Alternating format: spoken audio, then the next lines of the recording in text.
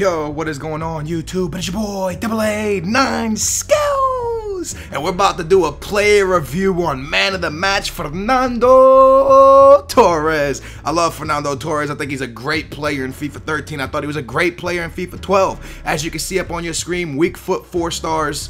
Well, wait, yeah, weak foot, four stars, and his skill move is a four. He's a four-star skiller, so Four and four, that's pretty good. As his game stats on the screen, I'm gonna let you guys look at that while I say a few things. First of all, I gotta give a quick shout out to my man Bateson87 for coming through on the clutch and letting me use the man of the match, Fernando Torres, for this player review. Also, I wanna say real quick, if you want some cheap, reliable coins, make sure to check out the description down below for UT Coin Traders, cheap, reliable coins. Now, all the game stats look pretty, pretty okay, right? You're looking at Fernando Torres and his acceleration, his sprint speed, everything looks pretty beast.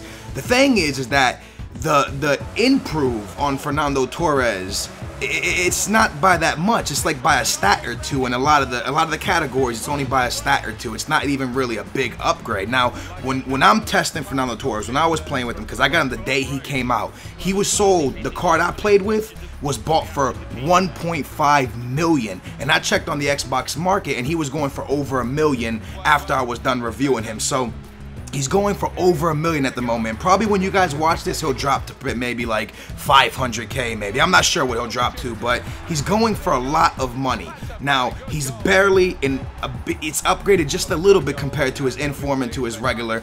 And and let me just be 100% honest with you. I like his regular more than his man of the match. Yup.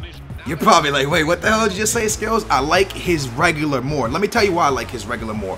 His shot seems better on his regular compared to his man of the match. His pace is identical. His ball control is supposed to be more on his man of the match, but his ball control actually feels better on his regular card. So I was kind of blown away because usually when you get an inform, you're like, ah, this doesn't really feel like an upgrade. It feels about the same.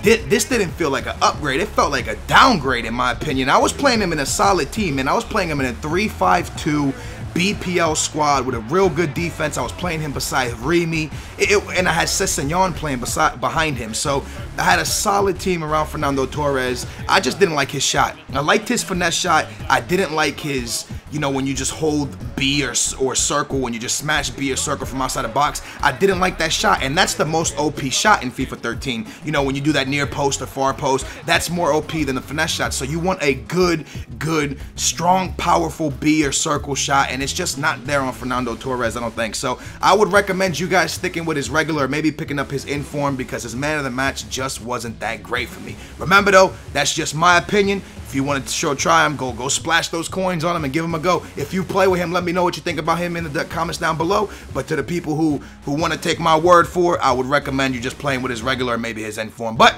this has been a Fernando Torres review, baby. I hope you guys enjoyed. If you did, a like is always appreciated. Subscribe if you enjoy the content by hitting that yellow button to the top right, some more FIFA to the bottom right, some Minecraft. I'm your boy Double A9 Skills. Hope you guys enjoyed, Bates, and thank you, fam. Booyah! I'm out